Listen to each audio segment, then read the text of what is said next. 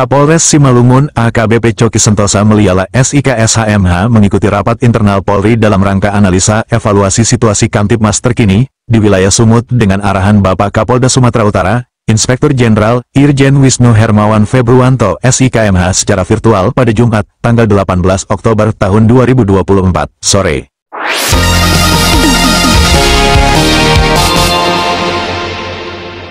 Rapat yang dimulai pukul 17 waktu Indonesia Barat ini dilaksanakan di ruang PDDO, Mako Polres Simalungun, Jalan John Horailam, Saragi, Kecamatan Raya, Kabupaten Simalungun. Rapat ini membahas analisa dan evaluasi situasi Kamtipmas terkini di wilayah Sumatera Utara, serta arahan dari Bapak Kapolda Sumatera Utara terkait langkah-langkah yang perlu diambil untuk menjaga keamanan dan ketertiban masyarakat. Tim MSTV melaporkan.